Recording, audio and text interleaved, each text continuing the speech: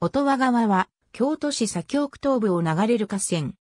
東山の比叡山南麓を水源とし、一級河川、高野川に、左京区、山形川西町付近で合流する地点まで、流路延長約 5.4km の一級河川である。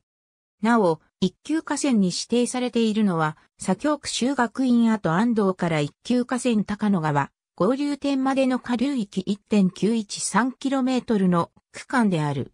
平安時代には和歌にも読まれた音羽の滝が流域に存在したとされる。音羽川流域の大半は深層風化した花崗岩で構成され、高野川に合流するまでの戦場地では土石流が頻発していた。このため、1937年に砂防指定され、1940年にかけて砂防園庭5基が設置された。その後、1972年に大規模な土石流が発生したため砂防、地産施設が拡充され、2010年現在、砂防園庭8基、陳社地1カ所、地産園庭20基が整備されるに至っている。